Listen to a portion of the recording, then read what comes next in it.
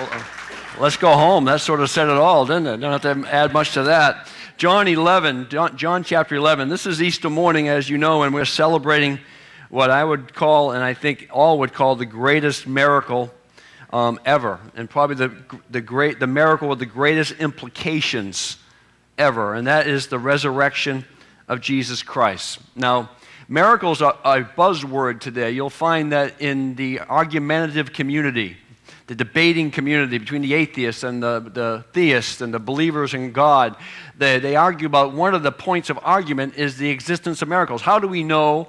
Can we believe in miracles? Because miracles violate natural law. They do something that isn't normal. They do something that isn't natural. They're, they're called miracles. Miracles are simply God's intervention into a natural course of life. Now, our New Testament is full of miracles, none of them more profound than the resurrection. And, I, and if I can be very honest and bold with you today, I think some of the claims of miracles today are, are just fabricated. I just don't know that they're even true. Um, there needs to be verification. If someone's going to have a miracle, then we need to really see something. Had somebody went to a healing service, a pretty well-known evangelist one time, and, and they, they took empty wheelchairs and put them down the front of the church so people's faith would be built up. Yeah, it's one real miracle, and people's faith is pretty built up. So I'm not criticizing that. I'm just saying we got to be very careful because we get better from a sickness. We can claim a miracle, but don't use that term so cavalierly because that's a sacred term. A miracle means that God reached down from heaven and did something significant against all laws to make that happen. I'll use the story. I wasn't planning on saying about this, but I used it the first service.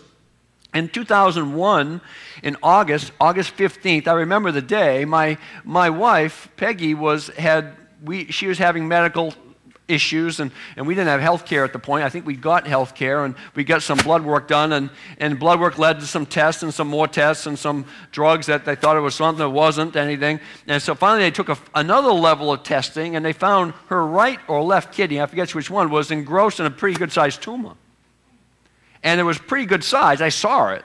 I saw it on the picture. It was an IVP test. There's a picture. And, and they were pretty concerned about it, that it, it, was something that had spread into the rest of her body. So they planned a CAT scan to take the pictures of the rest of the body um, and to see if it had gone into any other organs at that point. We didn't tell anybody. We didn't want to tell anyone until we knew exactly what we were facing. So after a Wednesday night service, the day after we got the diagnosis, I prayed with my wife for 45 seconds. I simply prayed that God would release her from any bondage of fear, and both, both of us for that matter, that if God was going to take her home, we were going to have a spirit of grace um, to die. And, and as I done, got done praying for literally 45 seconds between um, preaching and seeing people after a message, she looked at me and said, it's gone. And I said, What's gone? She goes, I don't know. she wasn't there. She just says, I just felt something come off me. Now, I'm a pretty natural guy. I eat grass. I like dirt. I mean, I, am not a, I'm not a fluffy guy. My wife's, we don't, we don't like to, is this like popping on me and everything? Should I switch to a regular mic, you think? All right, let me, let me do that. Let's cut. An Easter color and the Yvette's going to sing with us later. She does a great job. So, so I have I, I look at uh, my wife, and, and, and we go back on Monday to get the test back at St. Anthony's Hospital to get the CAT scan. And so I'm driving, he takes a test, I'm driving home. The, the hospital calls me and says, Can you come back and take another test? Because that one didn't, something went wrong on that one. And of course, I turned around, went back, and didn't think much of it really at the point. And they took another picture. They took another picture. We went home, and uh, our doctor's appointment, appointment with our urologist was on Thursday, but we knew we could pick up the CAT scan on noontime on Tuesday, and we weren't waiting for the doctor's appointment. So at noon on Tuesday, we arrive at St. Anthony's. I told my wife, go in there, grab the report, and bring it out to the car, and so we can read it together. We had this great peace. I can't explain it, but it was a great peace. So she walks into the hospital and she comes out um, with the report, and the first thing she did is start reading it without me. if you knew my wife, that would be a normal course of events for her. She starts reading it in the parking lot. Says, yeah, get over here. I need to read it. And so we get, we get the thing, and it says a very unremarkable CAT scan, which sounded boring, but boring is good. In other words, there was nothing there. What they saw in the IVP test, which is they drink the stuff, they take the picture, that's where they spot it, wasn't there anymore. I have the IVP test in a file, I have the CAT scan in a file. So if anyone wants to say that didn't happen, I can say, well, I can actually show you the two tests one week apart to show you where it was there and then it wasn't there.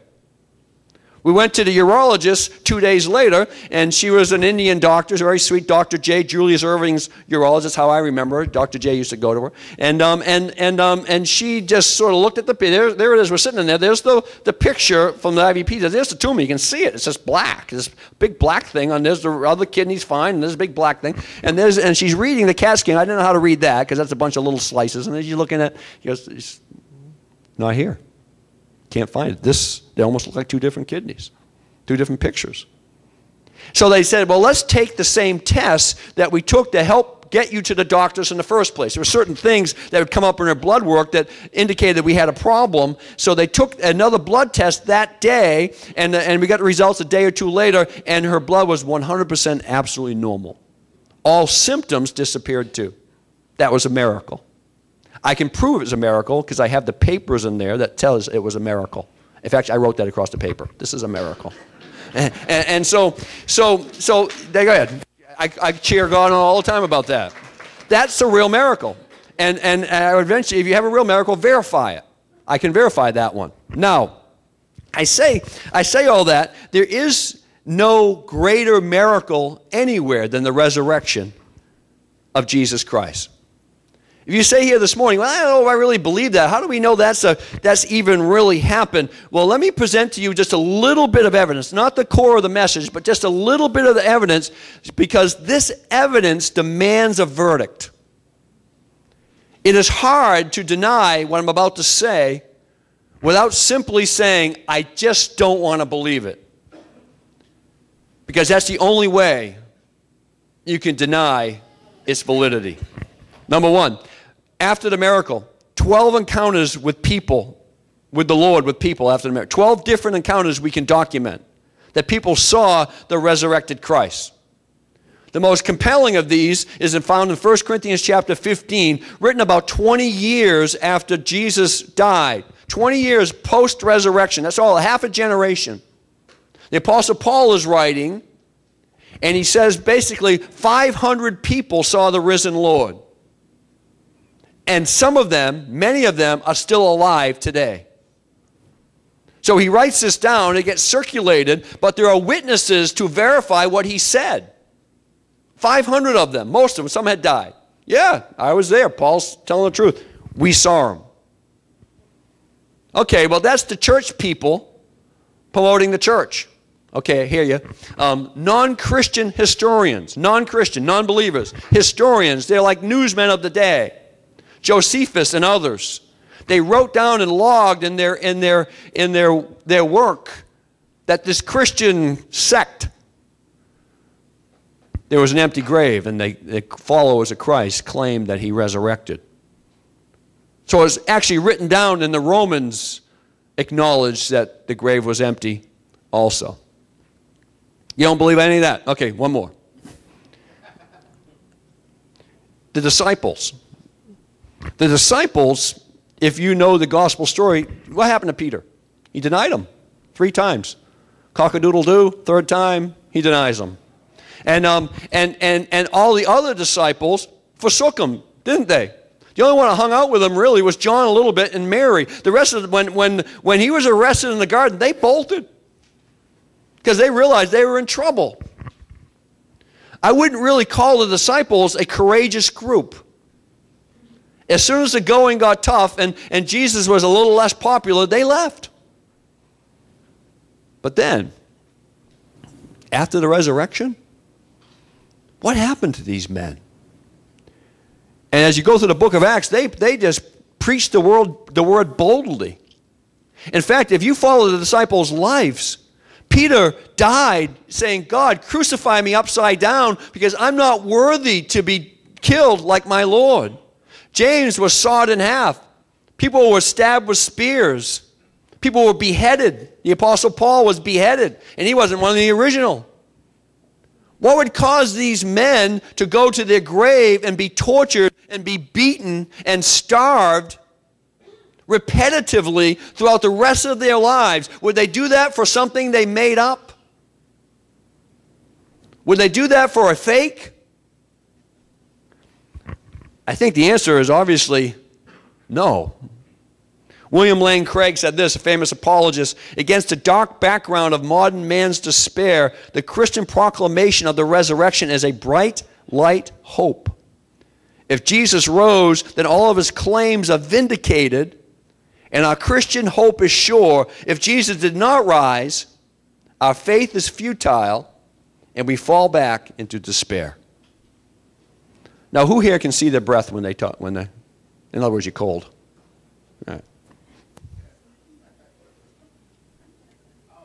There you go.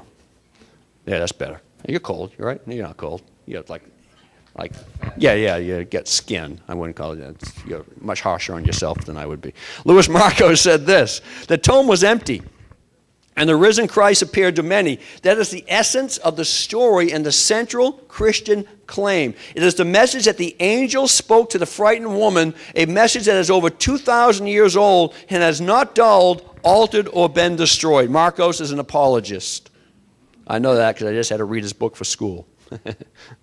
and here's an old preacher from a couple generations ago. The resurrection of Jesus Christ is one of the two fundamental truths of the gospel, the other being his atoning death. The crucifixion loses its meaning without the resurrection, and without the resurrection, the death of Christ was only the heroic death of a noble martyr. With the resurrection, it's the atoning death of the Son of God. Now, in John chapter 11, without reading the whole chapter, I'm paraphrasing, Jesus had a wonderful relationship with Mary, Martha, and, and um, Lazarus in, in the city, little city of Bethany. And so what happened is Jesus was two or three miles away, however, however exactly far it was, and, and Lazarus became sick, uh, very sick unto death. So the sisters run to see Jesus, and they said, Jesus, Lazarus is sick unto death. Come, because they knew Jesus could heal him. And Jesus looked at him and said, Listen, I'm, he's going to be healed. He will not die unto the glory of God. I promise you. And so they ran home all happy because they got the Lord's promise. He was going to come and heal them. But Jesus didn't follow them right away. He waited four days. He waited four days, and so Lazarus actually died. So then after four days, he starts heading home. He starts heading back to Bethany, and he's met on the road by Mary and Martha, by one of them. So let me, let me pick up the story in verse 25. This is Martha.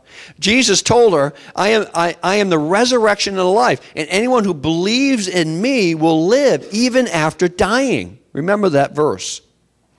Everyone who lives in me and believes in me will never die. Do you believe this, Martha? Yes, Lord, she told him, I have always believed that you are the Messiah, the Son of God, the one who has come into the world from God. Then she turned to Mary, then she returned to Mary, and, and she called Mary aside from the mourners and told her, The teacher is here and wants to see you.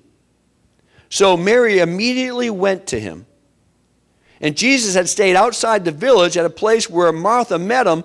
When the people who were at the house consoling Mary saw her leave so hastily, they assumed she was going to Lazarus' grave to weep. So they followed her there.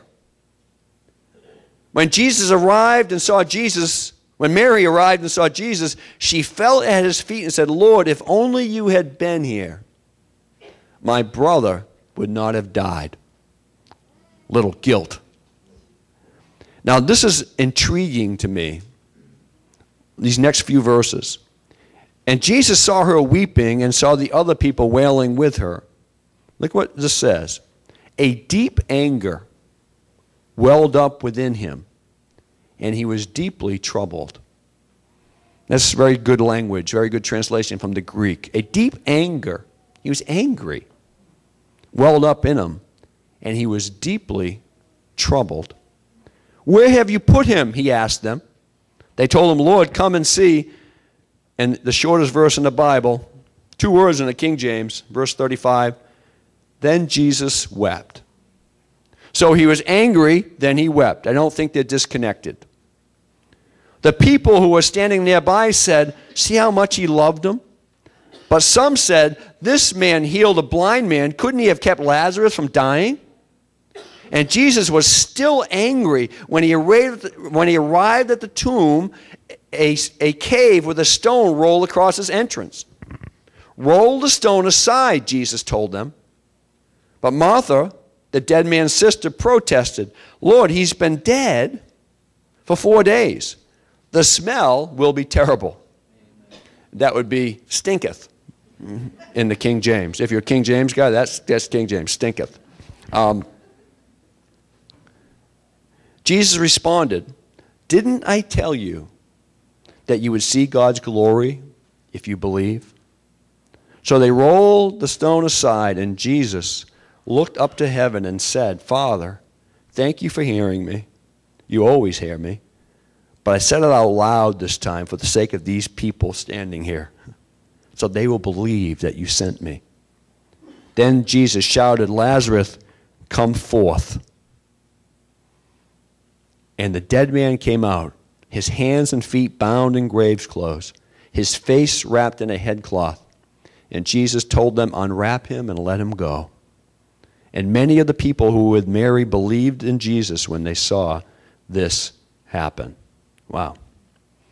So I want to get to why did Jesus weep in a moment, but just a few thoughts first because I didn't see any commentators write anything about this at all. So I think I'm the first one exploring this potential possibility. What about Lazarus? Was he ever given a choice?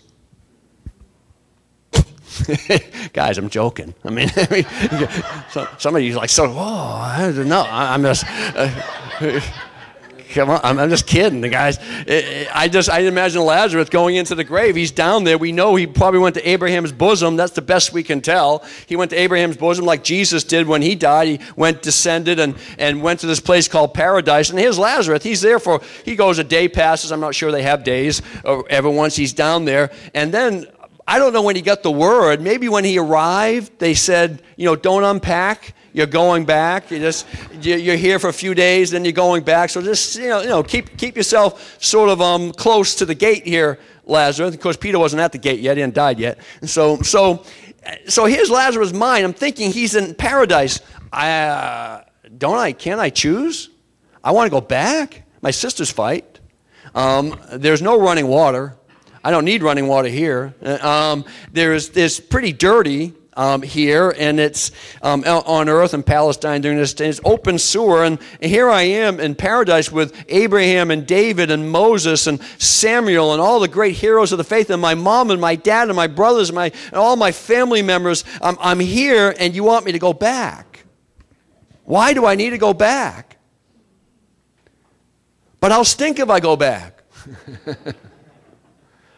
Lazarus is a purpose for the glory of God, you have to go back.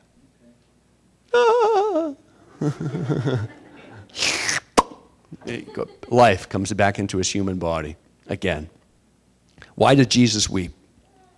Well, maybe the first question we should ask is in verse 33. Why did Jesus have deep anger? Why was he moved so deeply with anger towards the mourning crowd, people grieving the loss of Lazarus. Now, there's a couple in my research, there's been two main reasons why people say this. In fact, I didn't find one commentator to really give the reason why I'm going to, give for it today, but I think I'm right on this. I'm not sure I'm not the only one who's ever come up with this. But the first and main reason you'll say, or I say that one of the reasons they'll say is he wept at people's, um, because of people's lack of faith. He looked at people's lack of faith and he's bawling because, I can't believe they didn't believe.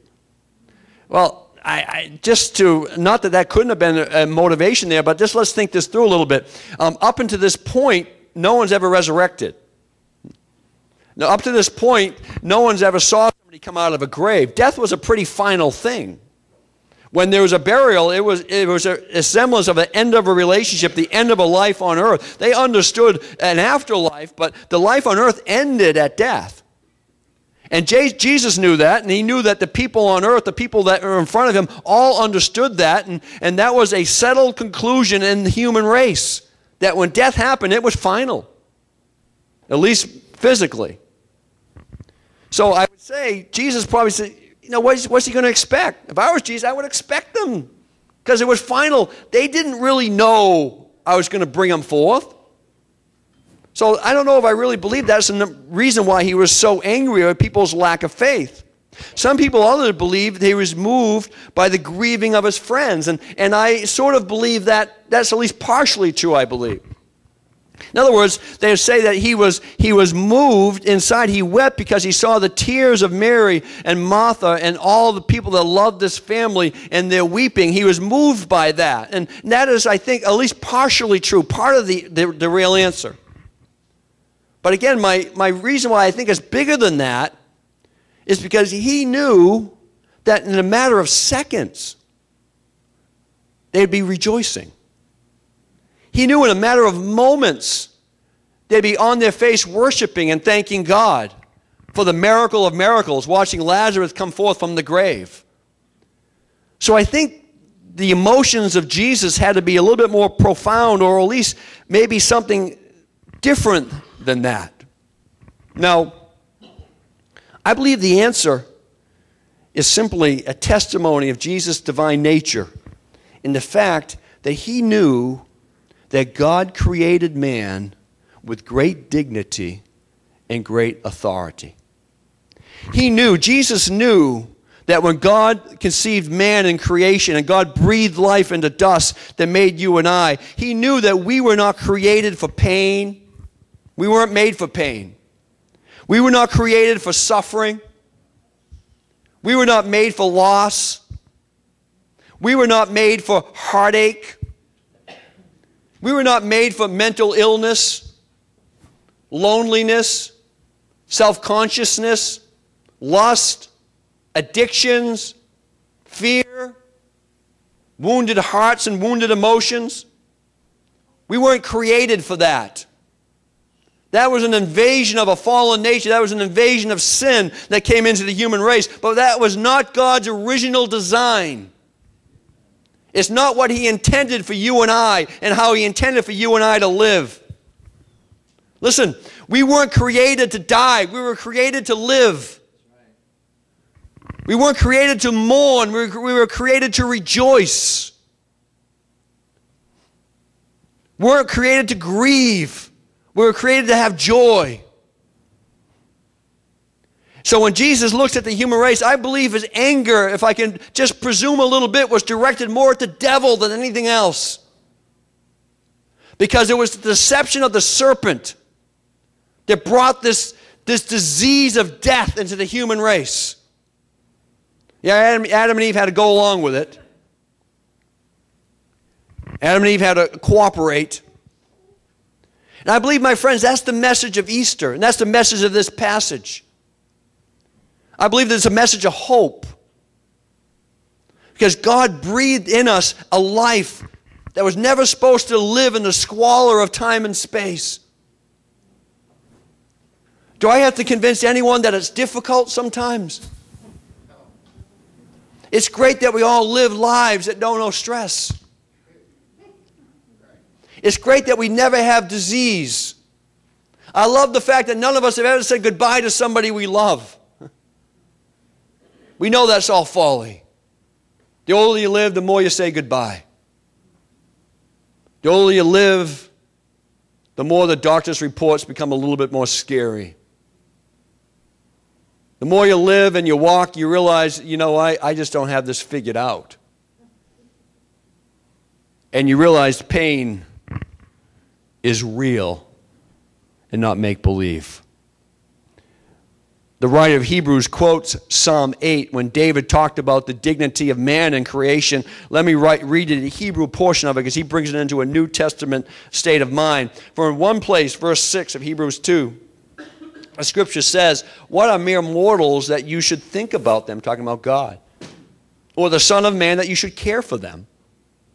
Yet you made them only a little lower than the angels and crowned them with glory and honor. You gave them charge of everything you made. So he looked at men, you made them a little lower than the angels, but you crowned them, you and I, the created beings, breathed on by God, the object of his affections, you crowned them with glory and honor. You gave them authority over all things. Now, when I say all things, he, def- he defines this. is actually pretty good. It's like a commentary within a commentary. It means nothing is left out. We have not yet seen all things put under their authority. What we do see, what we do see is Jesus, who was given a position a little lower than the angels. Because he suffered death for us, he is now crowned with glory and honor. Yes, by God's grace, Jesus tasted death for everyone. So, why did Jesus weep? I don't think it's that complicated. Jesus, knowing how God made us, knowing how God created us, he saw the ravages of human sin and the ravages of, of, of folly on a human folly on a human race. He saw death. He saw funerals that were never supposed to happen. He saw tears shed and great grief and great sorrow that was never supposed to happen. Death was never intended to be. We weren't meant to grieve. We were never supposed to live in unbroken fellowship with our Heavenly Father. He was mad because there was grief on earth. There was heartache on earth. There was death on earth. And there shouldn't have been. It didn't have to be. There was loss on earth. There was saying goodbye amongst families on earth. And it didn't have to be. He knew it wasn't God's best.